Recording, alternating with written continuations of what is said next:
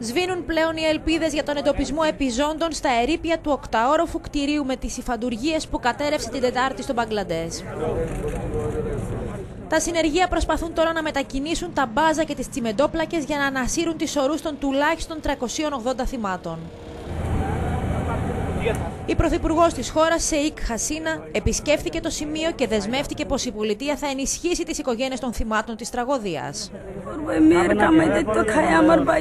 Έχασα την κόρη μου. Τώρα που έφυγε, πώς θα ζήσει η οικογένειά μου; Ήταν η μόνη που έβγαζε χρήματα για να μας συντηρεί.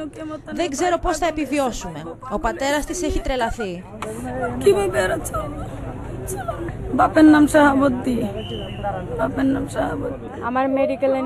Ήμουν στον τρίτο όροφο. Μετά την κατάρρευση έμεινα επί τρεις μέρες στα συντρίμια, πεσμένη στο πάτωμα και χωρίς τις αισθήσεις μου.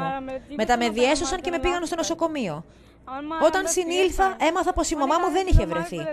Αν δεν είναι ζωντανή, τουλάχιστον να βρεθεί η σωρός της. Αλλά ακόμα ελπίζω να είναι ζωντανή. Ο ιδιοκτήτης του κτηρίου συνελήφθη ενώ προσπαθούσε να περάσει τα σύνορα και να διαφύγει στην Ινδία. Οι εργάτες των βιοτεχνιών έχουν κηρύξει απεργία για τις 2 Μαΐου με τις αρχές να φοβούνται επεισόδια.